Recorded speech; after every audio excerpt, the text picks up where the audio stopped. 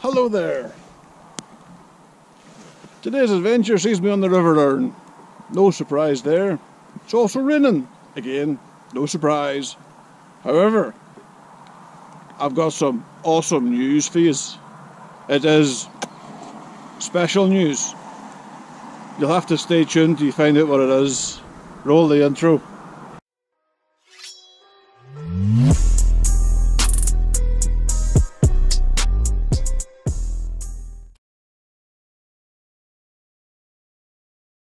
Still raining.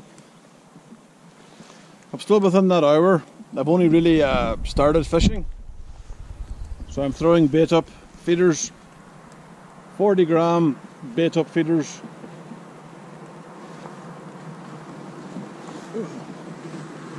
They are holding the bottom without a problem. And the third cast, then I had a little roach in the mix today is a it's basically a bag of leftovers. I found a, a bag of old Sensas lake. I don't know how long it's been uh, in the shed, but it's been there. So I basically used all of it. Half a bag of Sonubaits Black Roach and half a bag of Sonubaits Bream. I've mixed it so it's kind of dry Here's very deep where I'm fishing. If you know this, you'll know this. If you come to Northern Ireland to fish the Erne, this stretch is always used in matches. It's called the viaduct. You know, it goes right down this field.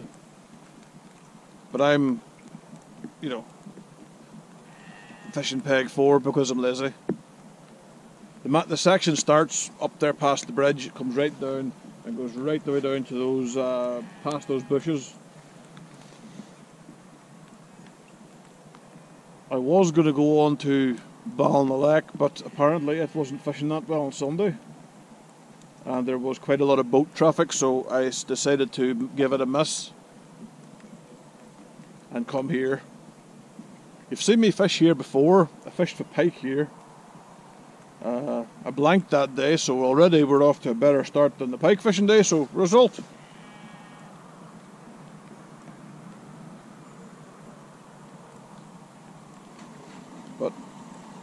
The only issue with this place is the peace and quiet gets disturbed by a bridge, which is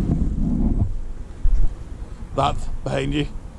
It will just ruin your pleasure all day because I don't know. I think every car in Fermanagh decides to hit it when I come down here and fish.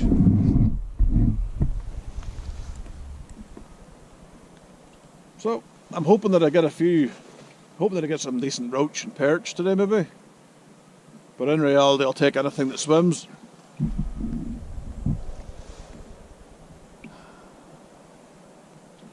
Gives the rain to fizzle out around about midday. So after that it gives it to be overcast but not not as rainy. So I'll just fish through the rain and the drizzle and I'll see what else today brings. the river is flowing that direction. But at the minute, 40 grams is holding the bottom, so it's not flowing that hard. Like I say, this stretch of the river is it is very deep, and I'm just fishing literally kind of in the middle. I'm fishing 25 turns of the handle. So a reel that winds nearly 90 centimetres by that by 25. I'm sure somebody in the comments will do the math and tell me exactly how far I was fishing, but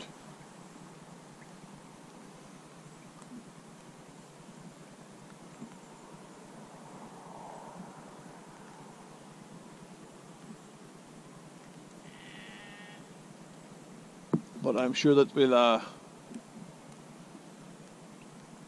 find out if there's anything out there today.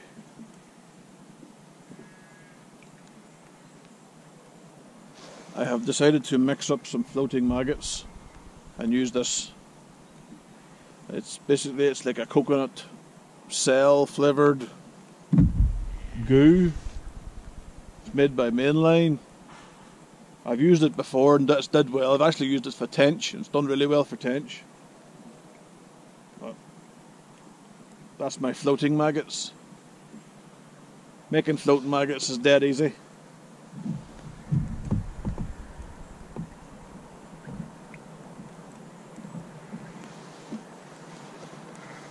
You just basically take a tub, cut the hole out of the middle of it, put your maggots in it, little squirt of your additive, and then a little bit of water, just enough water to cover them, and they start to suck in the air to make them buoyant.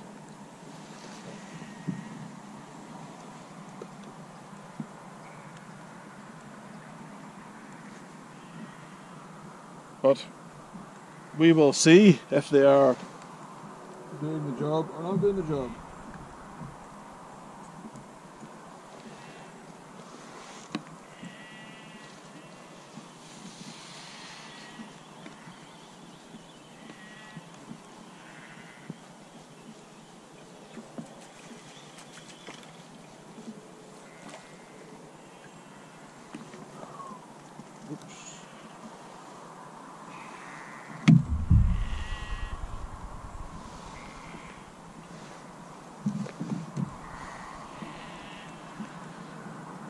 Fishing a 3 foot 7 pound fluorocarbon tail to a size 10 Guru feeder special, 3 maggots, a 40 gram Guru bait up feeder.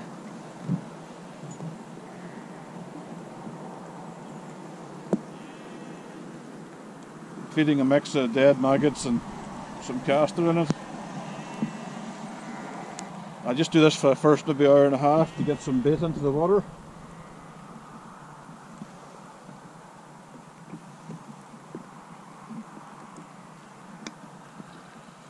Get some bait down there, hopefully the fish will start munching. And then I'll get some decent weights, but let's see first, shall we?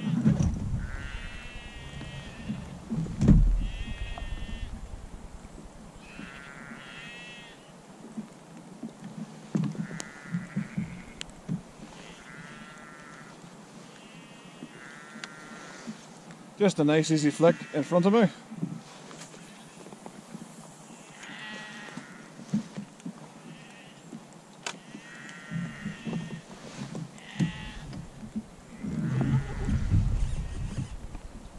That's me on the bottom now, so that's me fishing.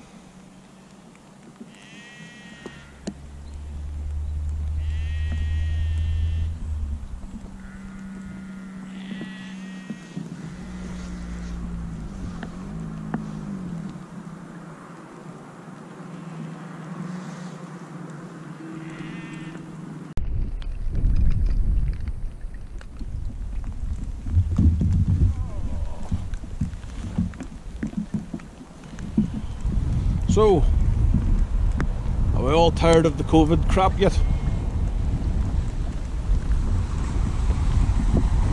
Are we all piss bored of how it's turned some of the uh, little Hitlers out there into full blown knobs? You know the sort, the sort of people that would walk past a, a smoking area outside a bar and, and then complain that people are smoking. That sort of person.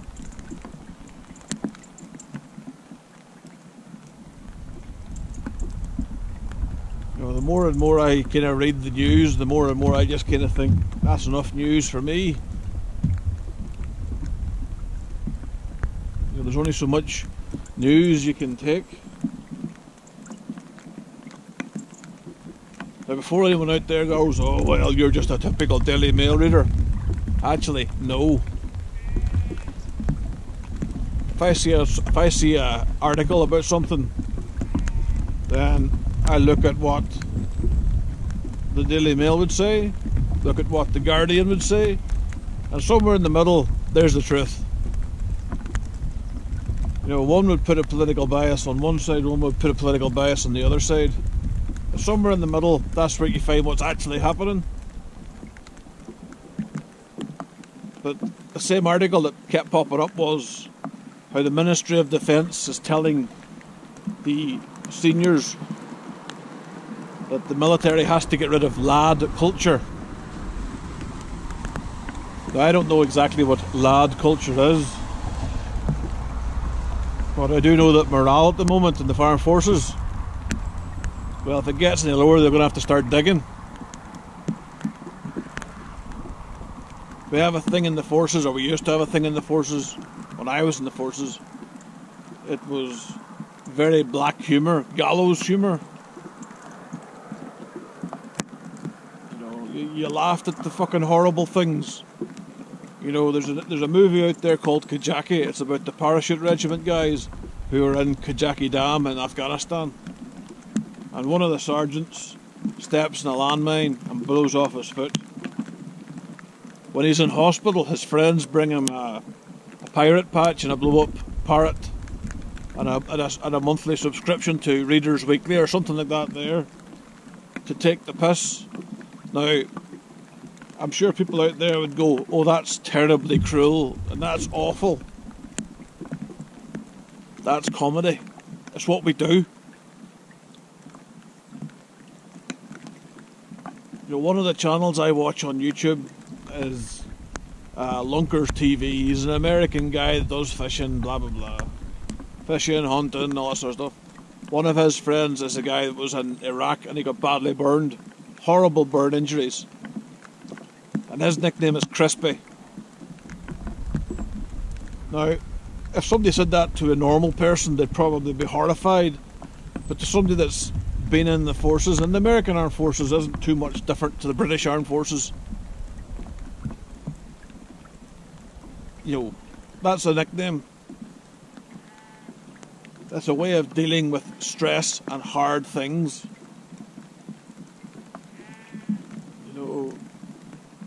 The armed forces community and the veterans community more so. You know, they kind of feel isolated enough.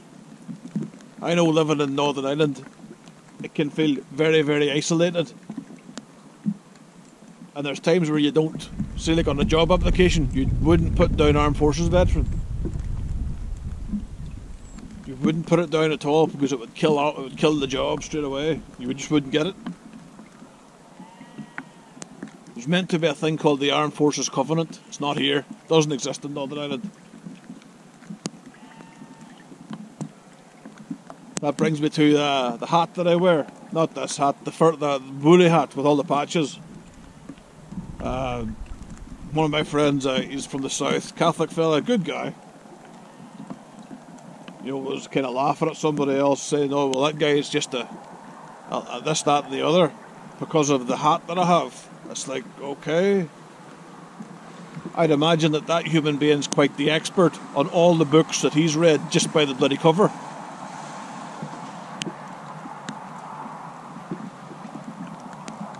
If anyone talks to me about a given subject, I'll give them a given answer. I'll give them what I think. It's what we do in a civilized society. We talk to each other. We don't walk up and punch people in the face just because they have a different idea to us.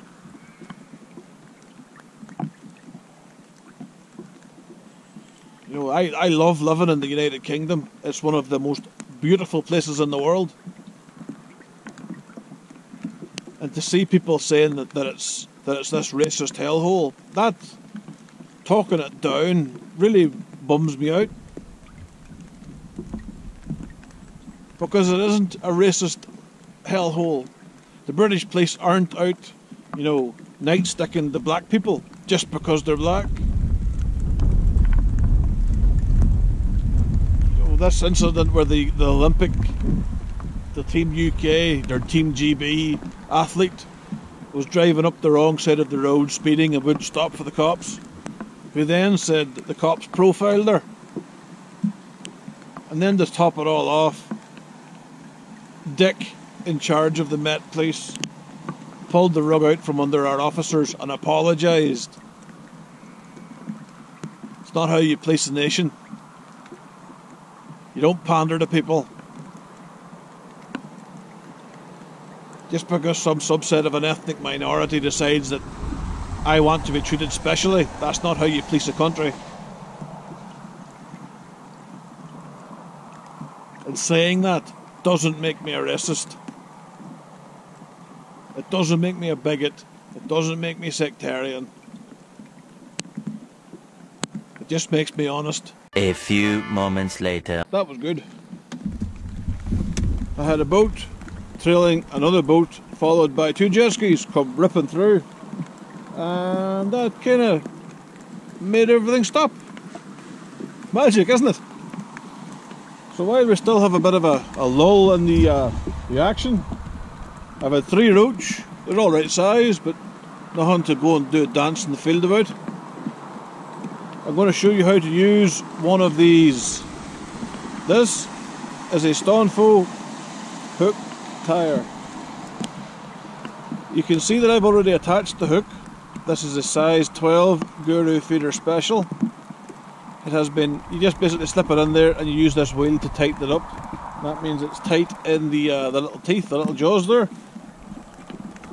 And then I'm going to use my chosen leader material, which is 025 millimeter 7, 7 pound Guru fluorocarbon. Take a length of it and put this end down somewhere. So you have your fluorocarbon. I'm using fluorocarbons because it's a bit thicker and hopefully it stays up in the water column that bit longer so it drifts down. I'm going to tie a four foot tail. So when the feeder hits the bottom, there's four feet of, up in the up in the water column. There's the baits, and it's just going to flutter down. So you take your Stonfo, take your length of line, hook it behind this hook, this little this little circle thing, little bit of wire. So it's like this. You then take the tag end and fold it down. You know this is a whole lot easier to do once I've so you have it folded down, then you just start to twist. In fact, let me just do that again it's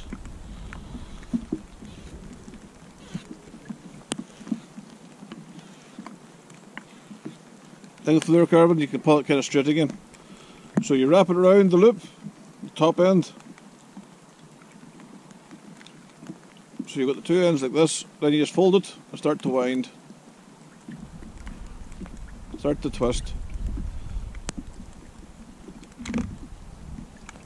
So there you have it, you've twisted it up the shank of the hook and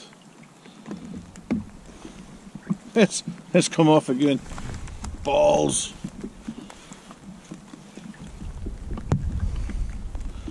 Try it for a third time, shall we?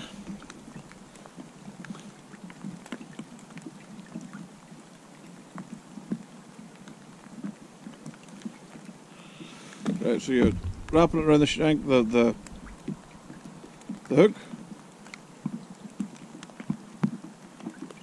And you take this tag end that's hanging down below it, thread it back through this little eye, and then push down.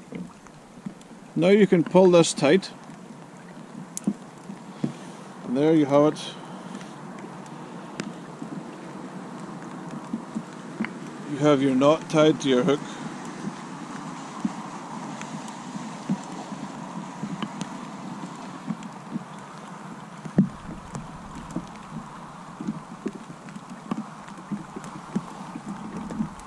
You trim the tag end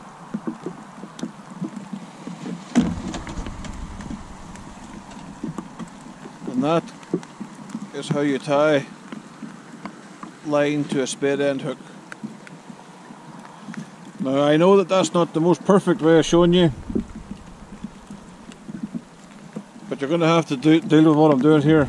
It's pissing with rain and I thought I'd show you how to tie it.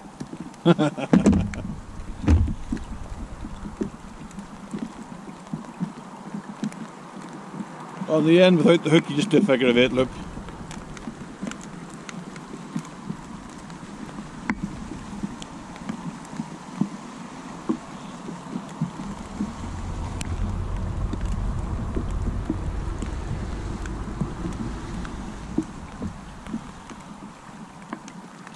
Trim the tag end. So there you have it, a four foot hook length.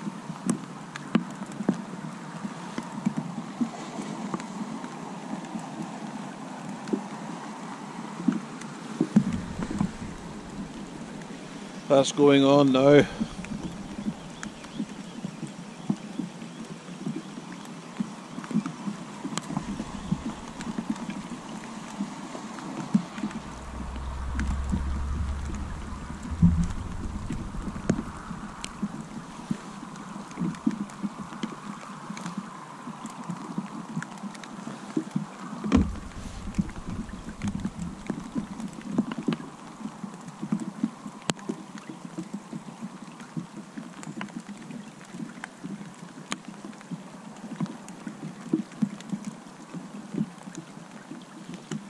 I'll have to set that hook and put that out, put that somewhere out of the road. Just put it there, just hanging on the edge, it's not in anybody's way.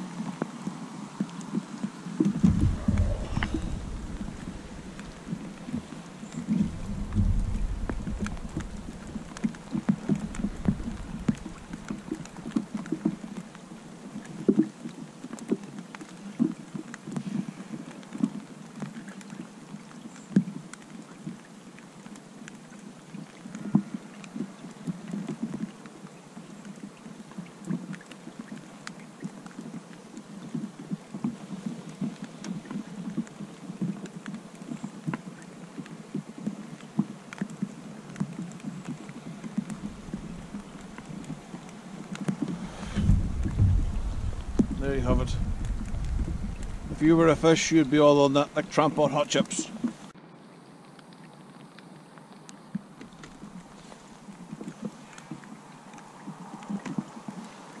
While I have your attention,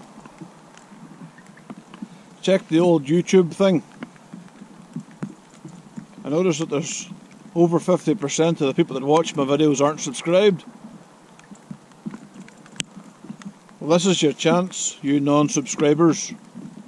I want you to take your hand and put it on your mouse and go down, click subscribe, click the bell. I don't know what the bell does, but give it a click anyway. And all you people that are subscribed, give me a thumbs up and a comment, and I'll get round to answering them. Helps me out. I still can't believe that the, the channel is uh, sitting at uh, 1,930 something people. I can't believe there's that many people out there that would that enjoy watching the crap I come out with.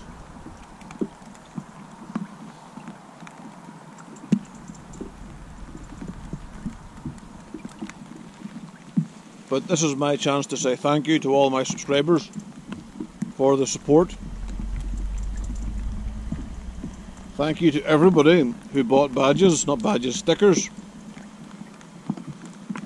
I had a, a run on stickers. I had, had to get like nearly 200 of them printed and they're nearly all gone.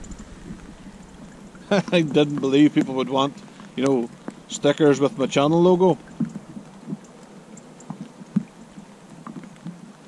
But the support means an awful lot to me. It's uh, the YouTube thing's been been generally a positive experience, and I'm kind of enjoying that.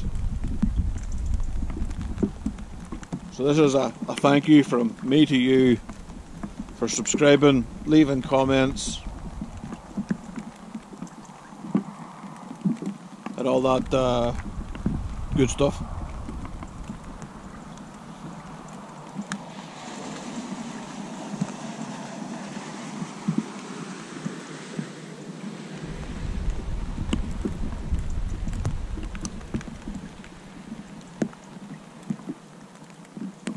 It's only around about 10 o'clock in the morning. I'm actually surprised to see as many boats on the river this early.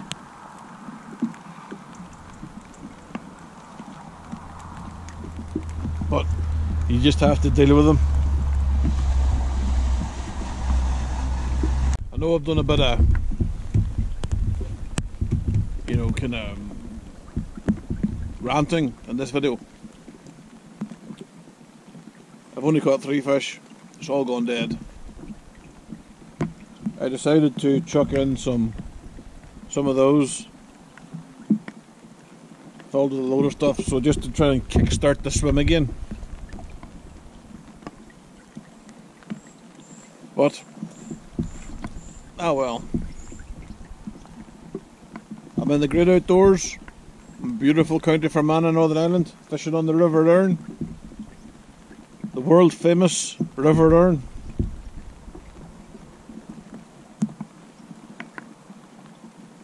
This is bringing me to my big news, the exciting news. Yes, the big exciting news. This week, I am finally getting the keys to the new Palace de Scobie.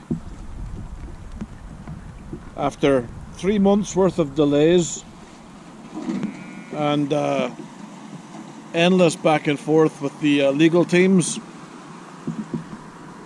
It's finally looking like it's going to happen.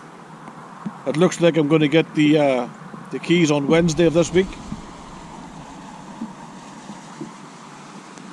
So that means I'm going to get my own garage, which is going to be phenomenal. I'm going to have a place where I can store all my own all my fishing gear. I'm going to have a place where I can put everything up on shelves. It's going to be sexy good.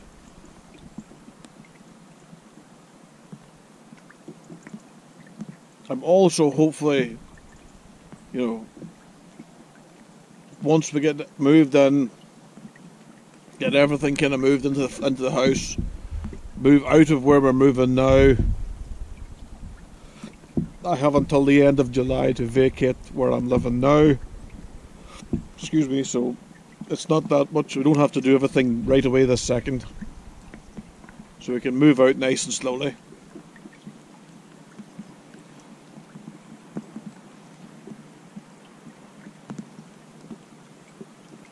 Moving into the house. This obviously means that my angling time might just be eaten into. So there might be a little delay in video content for this channel. But it's okay. I'm not going anywhere. I'm just moving house. You know, you're going to have to give me some wiggle room moving house. It's a big thing.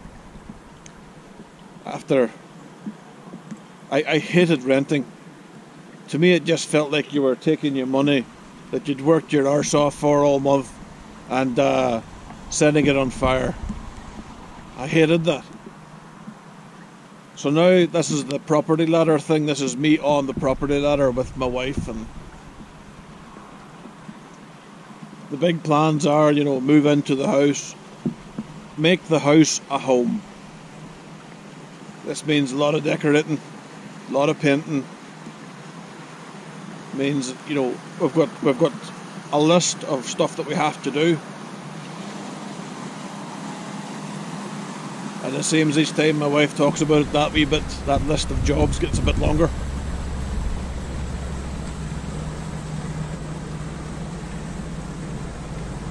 So, good times ahead. I'm also hoping, hoping if BT tells me the truth, that my uh, man cave slash garage will have internet access as well. So hopefully, it then becomes a place where I can do live stream vlogging from. You know, it's, it's impossible to do like a vlog sitting in a living room whilst your other half wants to watch The Only Way is Essex or some other push on TV. So, big news ahead. Big things coming. And anyone that can, anyone that says moving house is a stressful experience, I can fully 100% back that up. Because Jesus wept, it's been, it's been. COVID 19 just delayed us by three months. We should have been in the property by the start of April. It's now middle of July you know, and all that delays were, you know, I don't understand why there was delays. I don't understand why the lawyers took so long. You know, and thankfully the lawyer that we have is a good guy. You know, he found out that the, there was some things with the house that, that in the searches, like the surveys and shit. And he was like, get building control in there and get that signed off. And so thankfully he was he's kind of on the ball and everything we're moving in. You know, there shouldn't be any nasty surprises. But I'm thoroughly looking forward to it. Nice bungalow, real nice estate, good people for neighbours. quite an extensive driveway, which means that we'll be able to get the wife's car, my van, plus the boat all in the driveway without no shenanigans. And it also means because I'm finally moving into my house and I'm finally going to have somewhere that I can do actual work, like where I can store tools and actually do stuff. I get to do the refurb of the boat. The boat's going to get completely redone, rip out the floors, put new lockers in, recarpet it. I'm wanting the batteries and the fuel to be kind of put in their own compartments so that they're out of the way. Now, obviously, I have to work with what I have. It's only an aluminium Seanav. It isn't the fucking HMS, you know, Queen Elizabeth. So I have to maximise the space that I have to get the most out of it. But because now I have my own garage, I can do all this stuff. So uh, look forward to a future video on on the re, re, re basically rebuilding, tarting up the boat.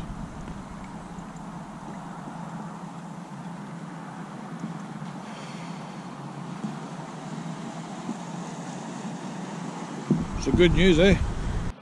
So, that's the end of another adventure. Not an awful lot to show you. Is, you know, I think it's like five, four or five roach, but I'll let you see them now. There you go. Four roach for the full four hours. Wow. Hopefully when I get back to fishing, there's more fish turn up.